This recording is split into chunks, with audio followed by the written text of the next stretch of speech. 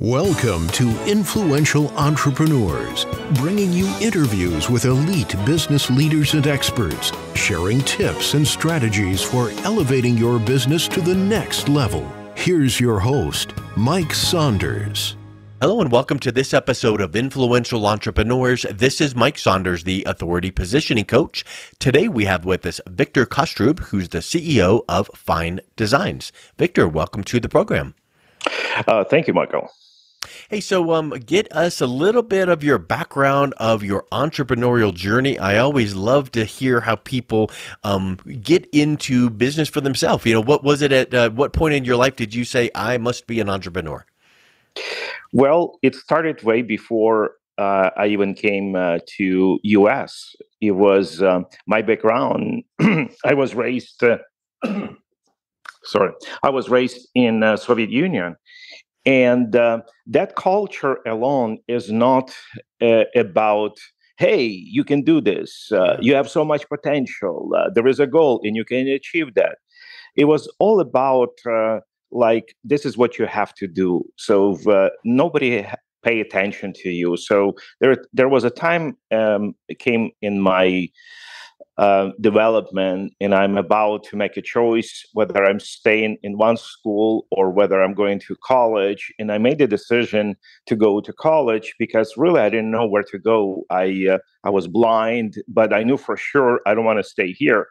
Once I mentioned that to my father, my father said, "No, this is not the, the road you want to take." Because you will be uh, like a cheap labor, he assumed, and he didn't want me to be like a cheap labor. And I said, no, I just sick and tired of staying in this because I just don't see a meaning. So my father gave me a lesson at that time, um, like a, 30, a, a person with authority, a person that you respect, you look up to, and he says, uh, son, uh, things doesn't work in life where you look where your passion is. The things the way work is you have to just pay attention to your responsibility and uh, uh, learn how to do them, uh, accept them. And in this life, he said, nobody is go after their passion.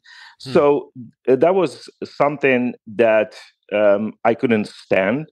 So I still um, uh, was rebellion to that because I had a spirit in me, faith in me that no, life does shouldn't work this way. Even if the system like this, life shouldn't work this way.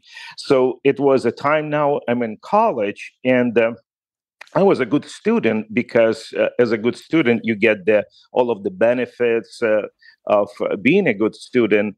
And then once I um, uh, realize this is my future after this college, again, I lost the passion. And my teacher now repeats pretty much the same what my father said. She said, You have so much potential in you as a good student. What are you doing with your life? And I said, Well, because I just don't see the meaning in this. I just don't see the future through this. And she said, Same thing. In life doesn't work this way. You just have to accept the responsibility and go with that. And basically uh, force your will, in other words. And uh, uh, I accept that, but not for for long. And um, month later or two months later, I um, uh, dropped the college, even though I was a good student. And uh, I dropped the college, and I said to myself, I don't know uh, what is my calling, and um, but one thing for sure, I know this is not the direction I need to follow. Mm-hmm. So, therefore, if I know this, I would have to take a step and move away from it. And that's what I did. I didn't, I didn't have a plan, but what I did back then, I think God heard me. And uh, what I think for our Heavenly Father, it's important that we truly become genuine and we accept who we are and we're not afraid to be who we are. And um, it's kind of from there it's a history uh, so, i follow my passion even being there i follow my passion i start you know trading cars and uh, pretty much uh, uh, by the age of 18, uh, I was I was already driving a car by doing a lot of trades. And uh, keep in mind, in Soviet Union, my father could not afford to buy a car. The, uh, it's like um, uh, to have a, anybody who has a car that's that's considered to be very wealthy people back there. And So, and your 18. son is 18, Yeah. already driving a car, and that's by doing those trades, the the things that I was doing so passionately about. So, um, and then when I moved to the United States, I uh, obviously, you know, you're new, you're um, uh, across the bro- board, your English very poor, so it's not like I had the idea, hey, I'm gonna go and open the business. None of my friends, uh, none of the other immigrants that I know that opened the business. So I go, I work for the company, and um, I really want to give my best to this uh, um, employer. So I um, want to be promoted and move. Uh, but then one one once there was a situation where I don't want to go into the details, but uh, pretty much uh, I was. Um, um, I was there was like a a, a, a dryer and their products of like a silk screen products. They were going through that this dryer, and my job was to simply take them and to put into the boxes.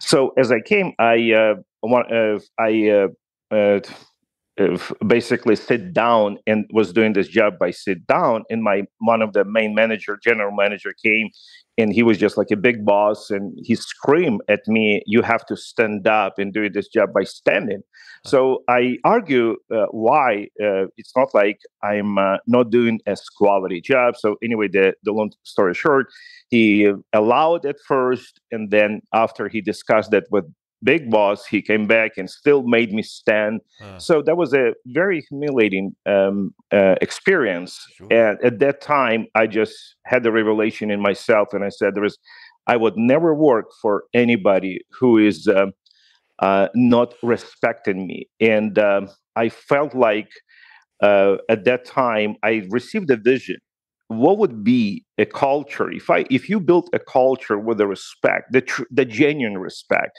not the not the respect that everybody says i like you but at the same time they don't care but the genuine respect. When you genuinely respect other people when you genuinely care for their talents and you really help them to release those talents as they were where they fit the most where they're the best at what they do what would that be? And i kind of like uh, fall in love with that with that dream. And it wasn't too long when i went into the business so it wasn't even idea to make money. It was idea about the culture. It's about this culture. I was oh i was uh, simply obsessed with that. And uh, so as a starting process of hiring when it started uh, we, we started hiring first people i said look i would never uh, call you to my office because you're late for 15 minutes because like this is how i was uh, uh, was uh, punished when i was working for somebody. If you were late five minutes they want to show you that this is who the boss. Yeah. so i said i will not. As long as you respect me you you respect your job and you value that i will i will always respect you and i will give you the room uh, to grow and i will give you your freedom. And that's for some people it was uh, very unusual but uh, after maybe a few years i start receiving like a gift cards that normally boss would not receive like a huge big cards of thank you. And uh, especially if the people had the terrible experience working uh, elsewhere and now they experience different uh, culture they just couldn't believe it at first. Uh, uh, so for example if i see somebody is came to work but make pretend that they are working i would want to ask what is going on? What is going on in your life and one time i talked to one lady and she said well look i i just came from visiting a doctor. And she said and the doctor said uh, look your your old dna your mother your your sisters they all uh, have this depression um, of history so you need to start taking antidepressant. And she said well i'm just sitting and thinking i can't recognize my mother anymore my sister uh, should i take that or not Yeah. so seeing person in this position i would want to really take care of that first her uh, uh, uh, physical being her spiritual being. Why would she why would i want to force her hey you need to work i don't care. So i would take care of her first you know say hey go i want to i want you to go for three days. This is the book i want you to read. This is a great book that helped me for example. It's very positive very motivating and uh, but don't worry we'll be keep paying you. So it, this is kind of like the culture we created and uh, within time uh, we so we started with an office in washington state and then we uh, the, we simply grew to state after state state after the after state and uh, probably after first 10 years we we invested so much in, into infrastructure system um, i don't remember you know thinking about luxury going to buy myself something or go experience like a great restaurant. It was all about the business and how to build it well and i and i uh, knew how you can build it well if you have a good foundation. And to me foundation it uh, translates into uh, into um, uh, trust in, into trust uh, because especially when you start and nobody knows you they you really have to build what we call today it's a branding but behind branding to me it's a meaning of trust so i remember there was from the beginning i sent a crew guys uh, to to the event in connecticut state you know we're in washington that's a connecticut state so the people that i hired i had my manager who hired those people they were local from that state. I never seen those people. So this is a young people that they come to work. What we are doing, we're selling event merchandise on site at the sporting events. So, for example, there is a gymnastic uh, national championship. So our company goes to create the design for this event, and then on the time of the event, we would set up a booth with a large variety of sportswear, t-shirts, sweatshirts, jackets, that everything comes with this official event logo. And then we plus we giving them a chance to mag to customize that with their names on the back their prints on the sleeve like places where they achieve. And this is a very very uh, great service. Yeah. and uh, so those two guys that we sent that they sent to they came drunk. And uh, with that they uh, they uh, they start treating those people really badly, making jokes of the people in line. So, for example, the lady says, "What do you think? What should I order for my daughter? A medium or or a small?" And the guy just laughing and say, "No, you need an extra large, not the medium, lady." So. With that, I received a phone call from this event organizer, and she said, I will do everything that there is nothing left of your company. Uh, so when I received that voicemail, uh, and we are talking about the foundation, the things that I was trying to put all of my effort into build this foundation, to me that was like, nothing left of the foundation. So, but what was important to me that now this lady assumes like the people you send, this is must be who you are. This is who. Uh, uh, this is probably how you treat your wife and the people surrounding you. So I was just. Uh, I forgot about the business. All I want to focus on how can I show this lady this is not who we are. And i really really want to repent and i really really sorry but how do i show that?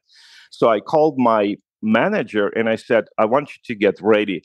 Uh, you need to go and uh, meet up with this uh, event organizer Dev, because you're the one who sends sends those salespeople. So but before you go i said go and buy the biggest bouquet of flowers and the biggest uh, chocolate uh, uh, box so um, at first he didn't want to. He said uh, he was reluctant to go because he said it doesn't make a sense to go. This is what she said. She was not going to change her mind. But I said, "This is no, you you have to do." But uh, plus, when you arrive, I want you to go on your knees and really, really beg for her mm-hmm. forgiveness. so uh, he he he does goes to buy flowers. He drives for eight hours because that's how far he had to go to her office. And then when he arrives, she was at work, and he goes on her on his knees and start begging for forgiveness. Wow. so the lady couldn't b- believe it. She just start uh, hugging him and uh, crying and uh, and uh, rejoicing. So that same lady, she said, who said, "I will do everything to destroy your company." No, she said, "I will do everything to uh, push uh, to yes. say that." Everybody has to hire uh, hire fine designs now because it would show them this is not who we are. We this is uh, if people take care of uh, their mistake uh, everybody could make mistake. But if you if you truly genuinely say sorry it's going to show that. So uh, so it doesn't mean that we ma- never made the mistake but it just means that we truly care whether this is inside the business to create the culture or whether this is outside the business. We we want to create a genuine relationship because like for example the people that we are building the business with this is like i said event organizer. And what i understood from the beginning wow they're doing such a great thing for our nation because if it wasn't for them where would those kids would be? Uh, because they organize those events and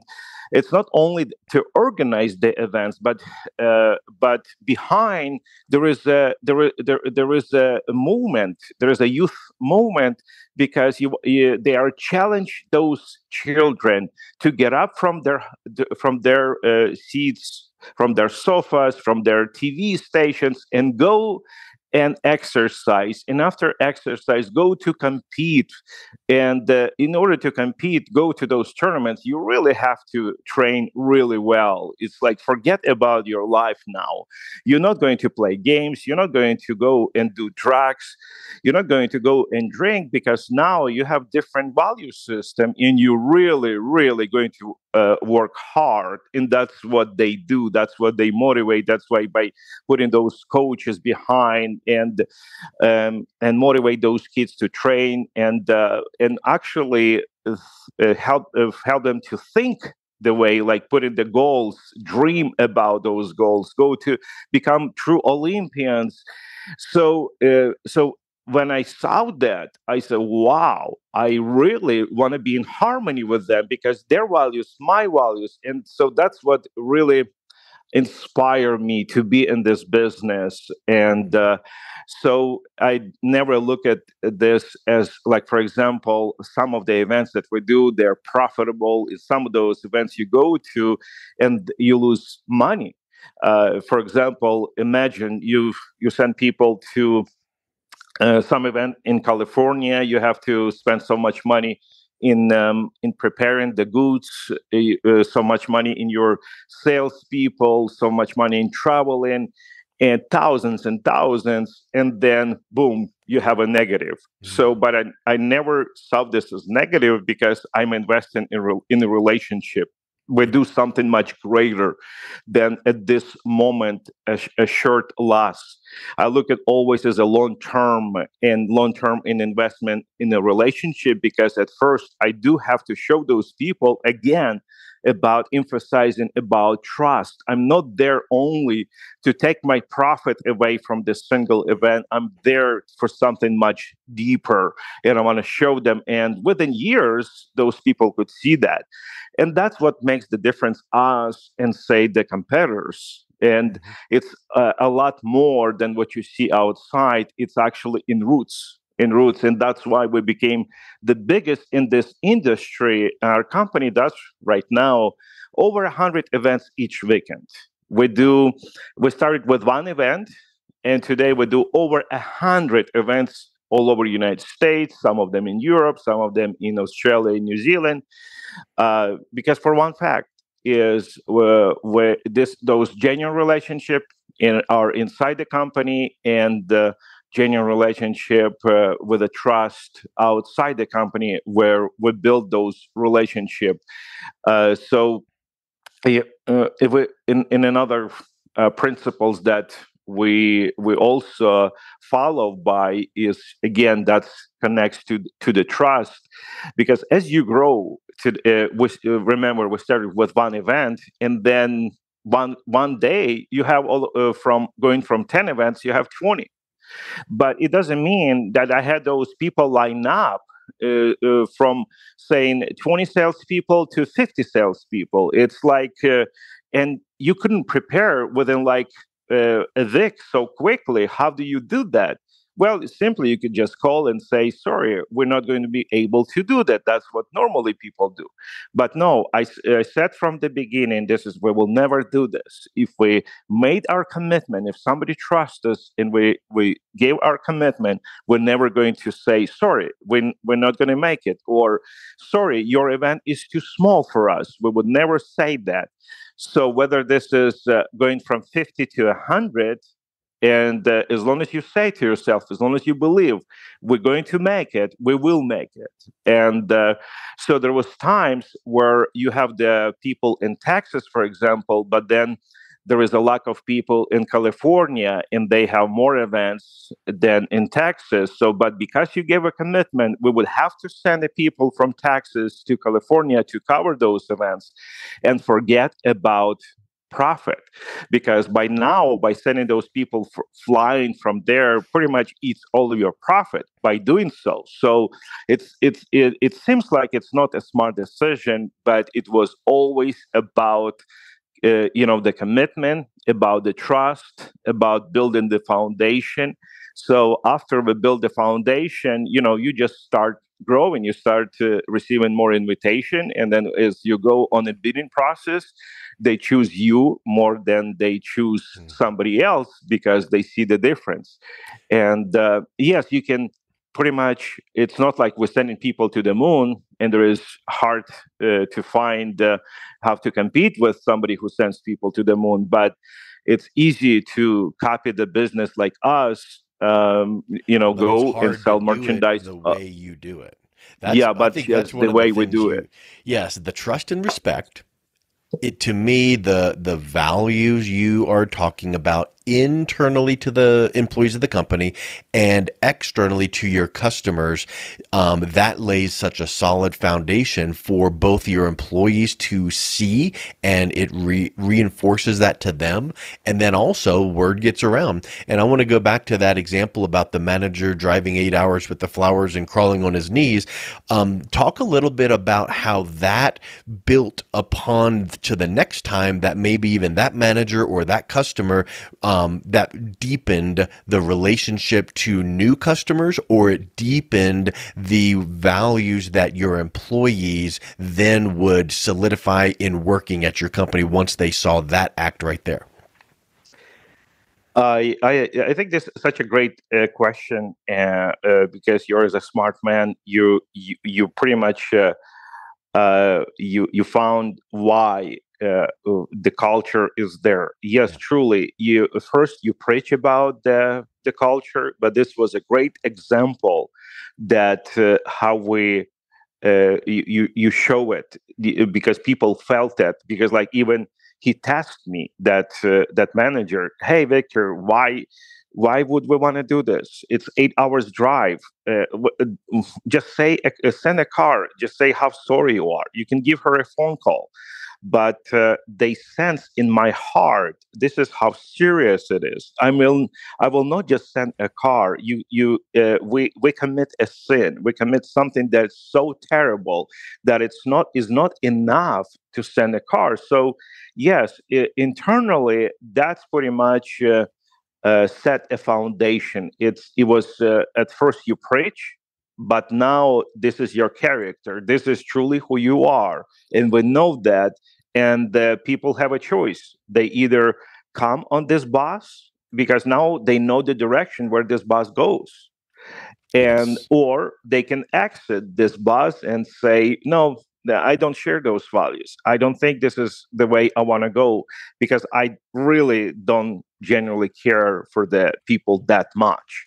So it was the choice for people to make. So you're right. That's that's pretty much set the the the guidelines for uh for for where we're going. You know, and I think that probably if you look back over some of these um, initial core values that you really expressed from an early age, realizing you wanted freedom and flexibility and respect, and that, and you now have had that be such uh, a strong part of your DNA that you have put that into your company. Do you have employees now that have been with you for many, many years because they uh, so much enjoy working with you? Yes, uh, we uh, the company uh, is we will be celebrating our 30th year in two years. So obviously, we've been around for that long, and we have people who stay with us for that long, for almost 30 years. We still have people like that. They're, but they are in the management position now. They started with a being regular salesperson, they but they've been promoted to be, um, you know, general managers and also like. Uh, licensing so it's like a franchisees uh, we we call yes. it uh, in in a different states. Uh, so this they are just amazing, amazing leaders. This is uh, the the business fine designs would never be as where we are if it wasn't for those pe- uh, people. They they um, also follow that that uh, value system and i believe they share the same value system because it was inside of them i pretty much helped them to unleash that that potential uh, but it was inside of them and that's why they came to the to the right boss uh, however, there was people who I knew, and they knew they uh, they're not committed in in business fine designs, you know, for generations, or uh, because uh, it's it's we don't have enough management positions for people to to take. So there's people who comes, you know, and do some uh, regular office work or uh, just salespeople to go to those events uh, but they are still uh, going to college, for example, the same time. But I always said, I uh, when I said I really care for you, I really do. I will. I want to, and, and I I said, look at this. Look my business as an investment. I'm part of like another college system. I will invest in you, and you will see the fruits that will. Uh, that uh, later in your life. So even though those some people are not with me, now, but I still have communication from those, whether this is Thanksgiving or Christmas. I always received uh, a card and a thank you note, a big thank you note that says a lot of people says if it wasn't for for me, if it wasn't for for them working for Fine Designs, they would never get this job. They would never get mm. that business. But because of that. Uh, of this DNA that we share, that the training that received, that the uh, how we help uh, uh, help them to think the, the, the the way they're thinking now is really they they see uh, the credit in that and they pretty much uh, connect that uh, why they are there and why they are so successful now yeah, it sounds to me like you um, took a business that is very simple to do, like screen printing and promotional items, and then you created a unique way to deliver it with strategic alliances with these events and personalizing it. But then once you got that business started, you started kind of stepping back and saying, okay, this is now going to be a training ground for the people I bring on. I'm going to inspire my employees. I'm going to inspire um, my clients and strategic alliances to achieve more. And I hear you describe this, and it sounds like everyone you come in contact with is coming away with a lot more than just a traditional business relationship. It's a friendship, it's a mentoring relationship. And I think that is uh, so much further beyond just a traditional come work at my company and have a nice weekend. Uh, I'm uh, I'm I'm glad you're saying that. Uh, it's a you're just reading my mind. It's like I'm thinking, hey, Mike, d- did you ever work for me? Did you? it's just like I'm I'm just impressed. I'm just really impressed how you how well you do this interview. It's like you know me really really well. Here's here's an example of what you just said. Uh, many years ago, that was like about maybe 27 years ago. No, no, not 27. About 20 years ago, I uh, uh, planning to do like uh, training, like a seminar in the state of Ohio. And you know when, uh, uh so I contact that uh, manager in that state and I said, why don't you get all of your employees? I will be flying to Ohio and I will be doing some training and uh, slash seminar because to me, I really want to show like how I how much I care for those people and stuff like that. So and and and do train people how we uh, we take care of the customers how we sell the things. And uh, so i fly and i book that uh, like um, uh, hotel in ritz carlton right in downtown in cleveland. And now i book like a conference room. And uh, all of the people come to that conference room. Uh, so this is like seven o'clock at evening. And this is like a wednesday night So obviously, uh, people uh, were reluctant to go because now they have to go because the manager said, "Well, yep. the big boss come and you have to come," because he said everybody has to come. So during my presentation, after one hour of me speaking, there is a guy just uh, uh, uh, just say, hey, "I wish I knew." What is this? Because when I received that phone call that we all have to be here, I thought, what a waste of time. Uh, instead of just, uh, uh, I, ha- I had some plans with my wife for this evening. Now I have to go. I was just like, I was so reluctant. But here we came. This is such a great motivation. Uh, this is like I would listen to this guy. He said for for days. uh, so, and to me, it was like, hey, that's exactly what I want to do. Yeah. I really want to help young people, regardless, even if they work for my company or not. And I and from that moment, I received that guy speaking. It was he spoke to my life like uh, uh, uh, uh, that. This is what you have to do. This is you know, your you, calling. So I uh, uh, start speaking that... to youth group to to uh, to thousands of people, to because uh, because exactly what I struggle, I see many, many people struggle. They don't have this flexibility, they don't have faith in them, and nobody helps them. Uh, but truly, if you help them to unleash that potential, if you show them uh, this is how life should be, they will be just so grateful.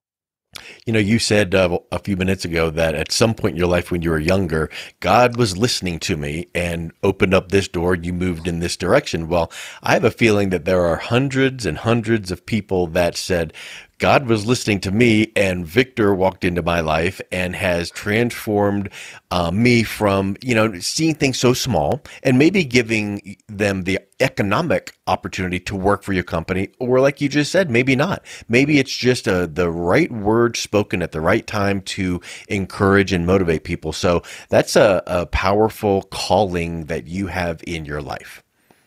No, thank you. Thank you. Thank you. I uh, th- to me that's the best compliment. I yes. and that's what that's that's that's the best compliment I can receive. Well, you uh, you are just brimming with energy and passion, and so let's wrap up this, Victor. And if someone is listening to this, thinking I need to learn more about Victor and Fine Designs, uh, what's the best way they they can reach out and learn more and connect with you? Well, uh, they could uh, listen to the podcast that I started uh, um, not too long ago. It's um, um, Mentors by Design. And with uh, Mission Matters, they could visit missionmatters.com and find out more about this great organization. As well, please visit company Fine Designs, our company, finedesigns.com, and you can find out uh, where we're located and uh, about all of the events that we do and stuff like that. So that's where I would start. Excellent. Well, Victor, thank you so much for coming on the show today. Thank you, Mike. You've been listening to Influential Entrepreneurs with Mike Saunders. To learn more about the resources mentioned on today's show or listen to past episodes, visit www.influentialentrepreneursradio.com.